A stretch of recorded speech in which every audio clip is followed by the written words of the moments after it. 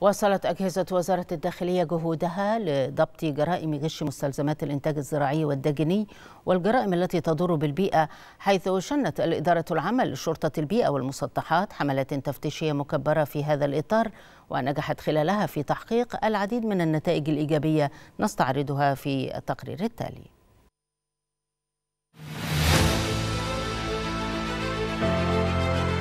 تواصلت الجهود الأمنية للتصدي لجرائم الغش التجاري وكل ما يضر بالبيئة والصحة العامة.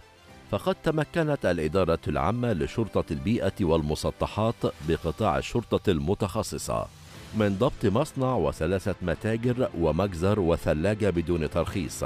بنطاق مديرية أمن دمياط بإجمالي مضبوطات 46 طن أعلاف حيوانية وداجنة مجهولة المصدر و11 ونصف طن مواد خام ومنتجات فايبر مغشوشة ومقلدة ونصف طن دواجن غير صالحة للاستهلاك الآدمي وقرابة 4000 عبوة مواد غذائية.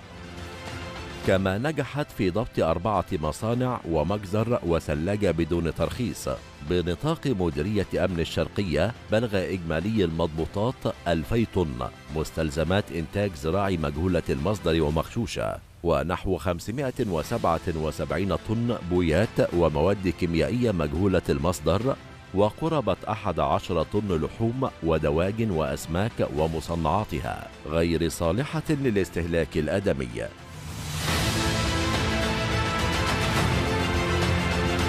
الإدارة تمكنت خلال عملياتها بنطاق مديرية أمن الجيزة من ضبط مخزنين وشركة بدون ترخيص بداخلها أكثر من خمسة أطنان مواد غذائية و64 طن بلاستيك و15 طن منظفات منزلية مجهولة المصدر. كما تمكنت الإدارة من ضبط مصنعين بدون ترخيص لإنتاج وتعبئة الأسمدة والمخصبات الزراعية بمضبوطات تزن 2000 طن مواد خام ومنتج نهائي وأسمدة ومخصبات زراعية مغشوشة ومقلدة ومنسوب إنتاجها لشركات كبرى متخصصة في هذا المجال.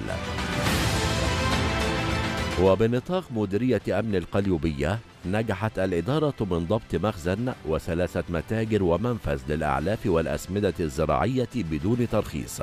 بداخلها كمية تزن 19 طن أعلاف حيوانية وأكثر من 44 طن أسمدة زراعية بدون ترخيص. وضبط مصنعين ومخزنين بدون ترخيص للمواد الغذائية حيث تم ضبط أكثر من 37 طن مواد خام لمواد غذائية.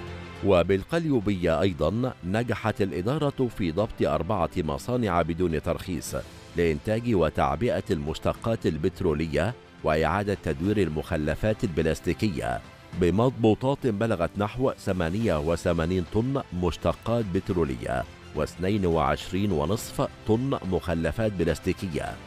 كما تم ضبط 19 طن مخلل داخل مصنع بدون ترخيص للمخللات. وخلال حملات شنتها الإدارة بنطاق مديريات أمن الجيزة والقليوبية والإسماعيلية.